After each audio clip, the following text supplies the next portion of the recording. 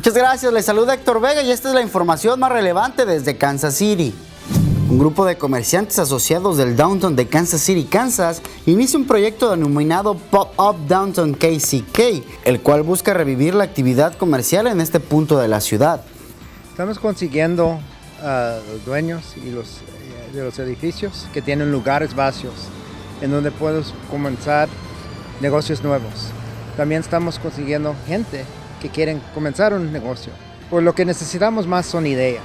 Hay, hay más de 5 mil personas que trabajan alrededor de aquí. Lo que vamos a hacer es eh, hacer, arreglar para que entre un mes y cuatro meses pueden comenzar y que, que, que, que sí pueden hallar modo de ganar aquí. Los descuentos que promedian alrededor de un dólar con 26 centavos cada mes vienen del ajuste de Westar por menor costo de energía, ya que pagan menos por el combustible para las plantas generadoras de esta empresa.